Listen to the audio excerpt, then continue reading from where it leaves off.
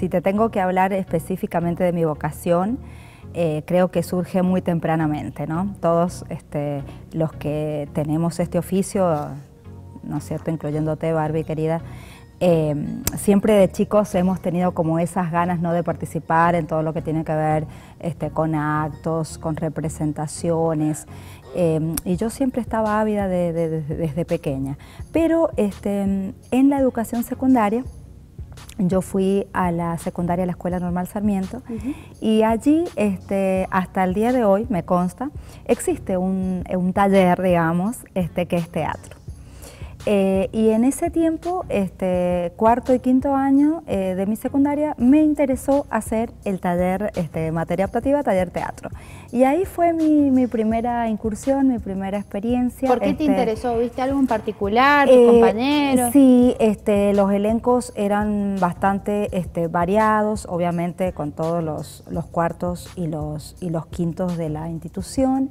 Eh, recuerdo a mi eh, profesora de, literatura en ese entonces, Iris Seguí, que ella es la que nos dictaba el taller y preparábamos este, a fin de año una, una obra. Recuerdo los de la mesa 10, recuerdo Prohibido suicidarse en primavera. Em, y compartimos este, historias que, recuerdos que quedan en mi memoria hasta el día de hoy. Al año siguiente, cuando yo salgo de, termino mis estudios secundarios, eh, me dirijo a, elegir mi carrera universitaria y había cerrado en la universidad ese año la carrera de teatro. Claro, porque fue una carrera término que duró 10 años. Exactamente, que era una especie de, tecnicatura, de un, instructorado. instructorado. Gracias, gracias por corregirme. Bueno, y entonces, bueno, este, ahí nomás, bueno, me corrí, obviamente me, aboqué a las letras, este, que es mi, mi otra vocación, pero en realidad me quedó ahí como eh, en esa misma oportunidad salgo y voy saliendo de la universidad, lo recuerdo como si fuese hoy, y enfrente, o sea, detrás, este, eh, donde tenía su actual sede, la, Alianza Francesa, había un cartelito y que decía, eh, este, estudia, querés hacer una carrera, este, acercate, bla, bla, bla. Bueno, y nada más ingreso. Y bueno, y funcionaba en ese tiempo Teatro del Oeste Argentino este famoso TOA, a cargo de mi querido director Julio Mercado, este, desde el año 95, eh, que me recuerdo este, egresamos en el año 97, eh, comencé inclusive hasta participando de teatrinas en el año 96, en el año 97. La teatrina, que es la fiesta provincial. Eh, gracias. La fiesta provincial, nuestra fiesta provincial del teatro.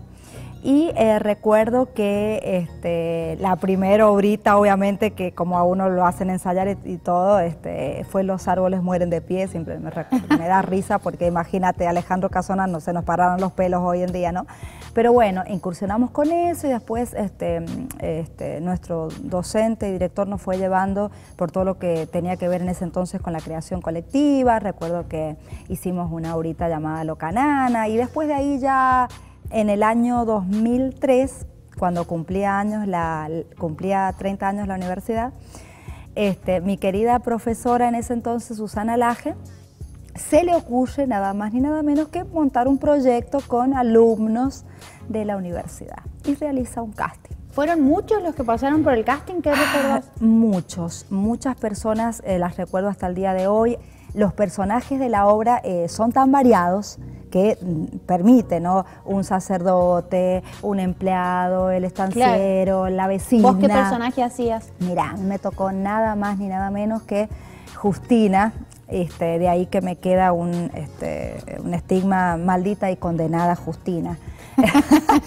Lamentablemente me dicen, este, porque así es como dice el texto, ¿no? Este, bueno, la adaptación obviamente que, que hizo, Susana, basada en otra en O sea, esa es la primera obra del elenco y vos de ahí no te fuiste más, o sea que llevas 14 años en el elenco de la facultad. Exactamente, gracias por recordármelo.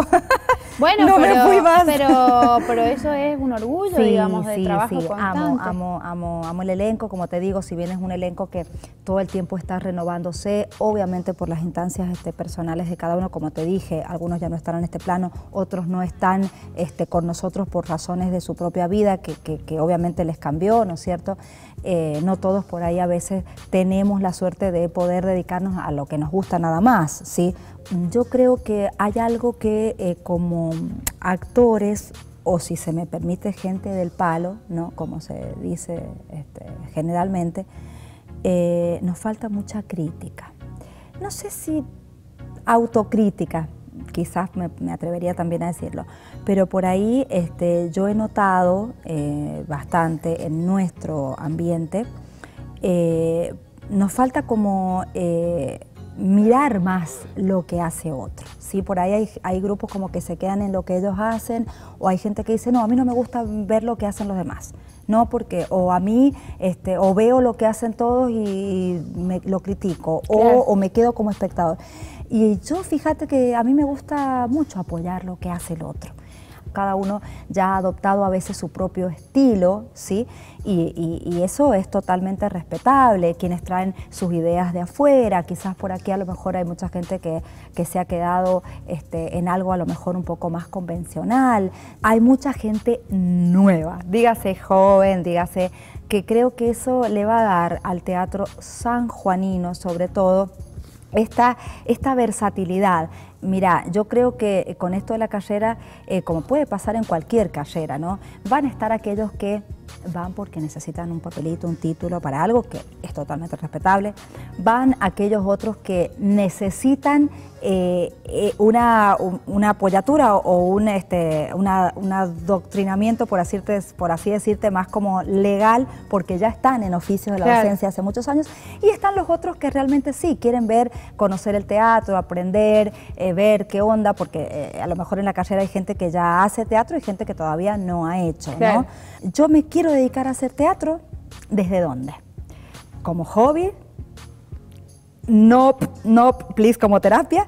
Y si lo tengo que hacer, que siempre sea como una profesión. Sí. Porque sabes que es mucho compromiso, es mucho tiempo, es mucha dedicación. Y más de una vez, no te digo que, que todo artista seguro lo sabe, a veces hay ciertas insatisfacciones. Y el estudiante de teatro tiene que tener claro que si estudia, lo tiene que hacer desde un compromiso. Haga el día de mañana lo que haga con él, pero al menos que conozca el producto. Bueno, muchísimas gracias Daniela por tu visita, por tu visión del teatro, por seguir militando por la profesionalización de la carrera y bueno, seguiremos en contacto en el mundo teatral. Te agradezco y estamos para lo que necesites.